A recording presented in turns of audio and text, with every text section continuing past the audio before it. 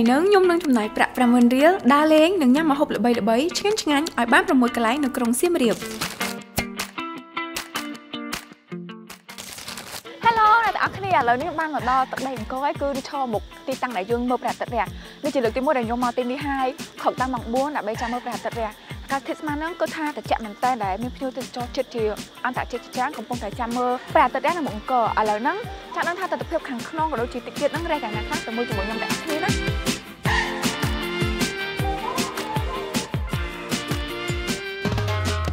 ឡូវនេះខ្ញុំបានឃើញព្រះអាទិត្យរះហើយឃើញថាសស្អាតមែនតើដូចពងទាប្រៃចឹងឥឡូវនេះខ្ញុំគិតថានឹងផ្ដិតយកទស្សនវិជ្ជាស្អាតៗជូនអ្នកទាំងអស់គ្នាបន្តទៀតចាស់ទៅមួយជាមួយខ្ញុំទាំងអស់គ្នានេះ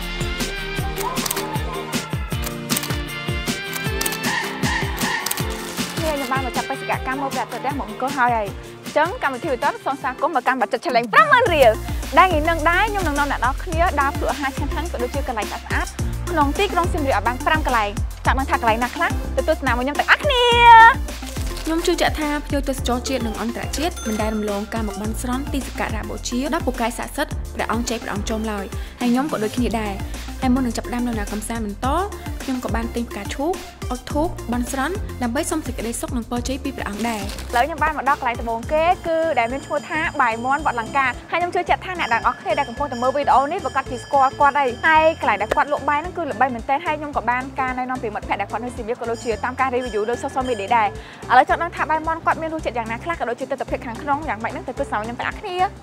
បើតាមតែម្ចាស់ហាងគាត់ប្រាប់ណា ក្នុងមួយថ្ងៃមួយថ្ងៃគាត់លក់រហូតអស់200ទៅ300មាន់ឯណោះភ្ញៀវមកពេញពេញហាងមិនថាអ្នកញ៉ាំផ្ទាល់ឬក៏អ្នកមកខ្ចប់ទេគឺត្រូវទំហងជួរចាំចឹងហ្មងដូចក្នុងវីដេអូនឹងចឹងតែតែឥឡូវបាយបានមកដល់ហើយអ្នកទាំងអស់គ្នាខ្ញុំនឹងធ្វើការភ្លក់យកតែម្ដងបាយមាន់គាត់មួយចានមួយចានណាច្រើនមែនតែនសម្រាប់អ្នកដែលគាត់ញ៉ាំច្រើនណាដឹងតែឆ្អែតបុបបុបហ្មងហើយបើខ្ញុំវិញញ៉ាំអត់អស់ហេចាអរគុណគ្រូ ហ្នឹងហើយអ្នកនរគ្នាឥឡូវហ្នឹងខ្ញុំបានញ៉ាំបាយអស់6,000ហើយអញ្ចឹងខ្ញុំសល់លួច44,000ចឹងថាបន្តខ្ញុំទៅកន្លែងណាខ្លះទៅទស្សនាវីដេអូទាំងអស់គ្នាចាអឺអ្នកនរគ្នាដឹងថាខ្ញុំឈរនៅទីតាំងណាណាអត់នេះគឺជាសួនសុកាឡាតោះ ទៅមើលជាមួយខ្ញុំទាំងអស់គ្នាចូលមកដល់ខាងក្នុងឃើញថាមានការតាំងលក់របស់របរធ្វើដោយដៃជាច្រើនក្នុងនោះដែរមានវត្ថុអនុស្សាវរីយ៍គ្រឿងអលង្ការខ្ជូតខ្ជូតនំប្លែកប្លែកអ្នកលក់វិញណារុះរាយសាហាវហើយអ្នកមកញ៉ាំកាហ្វេក៏ស្អាតស្អាតដែរអញ្ចឹងមកលេងទីនេះមិនត្រឹមតែញ៉ាំកាហ្វេមួយមុខទេតែអ្នកទាំងអស់គ្នាក៏អាចមកអង្គុយលេងជឿជឿនិងសាប់ភ្លេងបានទៀតហ៎ បរិយាកាសនៅនេះពិតជាស្រស់ស្អាតមែនទែនអ្នកនរគ្នាអឺជា open space ហើយ friendly environment មែនទែនសម្រាប់អ្នកគាត់ចង់មក date ឬក៏មកពិភាក្សាការងារធ្វើ assignment ឬក៏ relax chill អីចឹងគឺត្រូវមកតែម្ដង open space ចឹងណាអ្នកនរគ្នាអាចថតរូបបានស្អាតៗមែនទែនតិចទៀតខ្ញុំនឹងនាំអ្នកនរគ្នាប្រាប់ពី style ថតរូបស្អាតៗអូអ្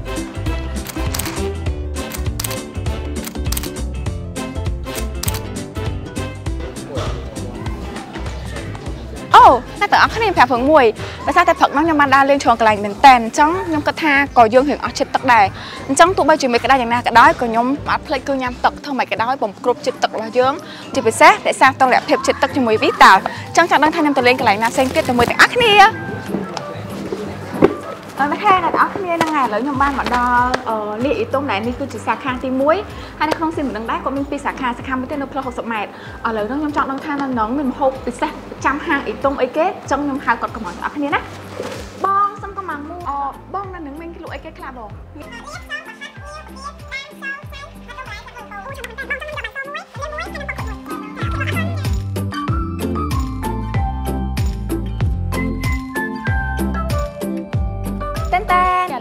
បានមកដល់ហើយអញ្ចឹងគឺមានលាឆាមិនលាឆាអ្នកគ្នាលាអាប់អំពិលទុំមួយហើយមួយទៀតគឺពងក្រួយហើយមួយទៀតគឺបាយសមួយចានដោយសារតែញ៉ាំពេលថ្ងៃអញ្ចឹងញ៉ាំឲ្យនឹងពោះឥឡូវទៅភ្លក់លៀសជាមួយខ្ញុំអញ្ចឹងខ្ញុំយកលៀសគាត់មើលអ្នកគ្នាលៀសគាត់ឆាបានឆ្អិនល្អណាអញ្ចឹងខ្ញុំភ្លក់មួយហឹមផ្អែមឆ្ងាញ់ហើយអត់មានដីទេហឹ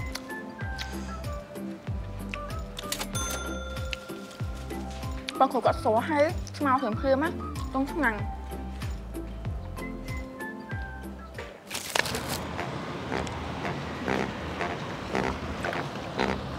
អូនអ្នកនរគ្នាជិះម៉ូតូមួយថ្ងៃឯងរហាងក្នុងកឆាអត់តាន់ឃើញទេខ្ញុំមើលមកខុសហ៎ជាមួយខ្ញុំមើលមកម្ដងទៀតណាអ្នកនរគ្នាបត់ទៅតាមផ្លូវវត្តបូអេអ្នកនរគ្នាខ្ញុំរកឃើញឯនេះទី បំផុតកម្មវិញផ្លូវរបស់ខ្ញុំរកឃើញមកសម្រាប់ហើយឥឡូវខ្ញុំចូលញ៉ាំទាំងអស់គ្នាព្រោះថាដល់ម៉ោងហ្នឹងឃ្លានហើយតោះនៅសៀមរាបណានរណាណាក៏ល្បីលតឆាគាត់ដែរគាត់បើកលក់តាំងពីឆ្នាំ1987រសជាតិឆ្ងាញ់ណាស់មិនថាលតឆាឬនំកញ្ឆាយយកមកពេញពេញហាងហ្មងរត់ឆារបស់ខ្ញុំគឺហៅរត់ឆាពងទាជាមួយនឹងផិតត្រីបំពងដោយសារតែនៅបំពេញខ្ញុំសាកសាច់គោហើយចង់ចង់ដឹងថាផិតត្រីបំពងហ្នឹងមានរសជាតិយ៉ាងម៉េចឥឡូវសាកមកខ្ញុំទាំងអស់គ្នា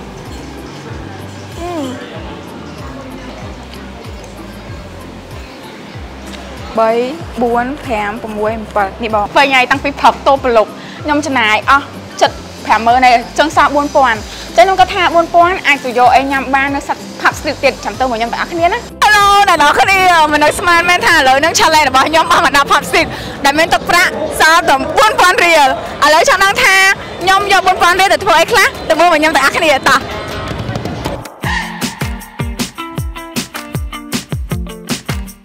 យេដល់កន្លែងរ៉ូទីហើយឥឡូវខ្ញុំសុំធ្វើការកំងសិនអឺបងឲ្យមាននំអ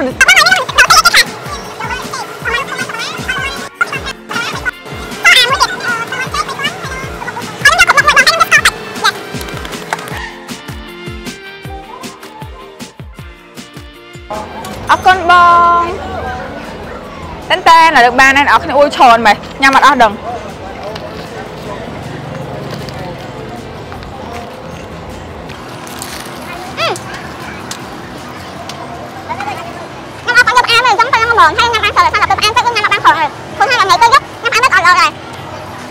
អ្នកនរគ្នាអួយច្រើនមែនញ៉ាំអត់អស់ដឹងអូខេអ្នកទាំងអស់គ្នាឥឡូវហ្នឹង challenge របស់យើងគឺបានបញ្ចប់ហើយអញ្ចឹងថ្ងៃហ្នឹងផងដែរខ្ញុំបានចំណាយប្រាក់50000រៀលដល់ញ៉ាំបានច្រើនកន្លែងមែនតើហើយខ្ញុំគិតថាអ្នកទាំងអស់គ្នានឹងចូលចិត្តវីដេអូមួយនេះបើសិនជាចូលចិត្តកុំភ្លេចចុច like និង share ផងណាបាយបាយខ្ញុំយកទឹកកន្លងមួយទៅស្ករតិចអូខេបងចាបងអរគុណអ្នកទាំងអស់គ្នាចង់ប្រាប់ថាអានេះខ្ញុំទិញលុយខ្លួនឯងហ្នឹងមិនមែនលុយច្រឡែងទេបាយបាយ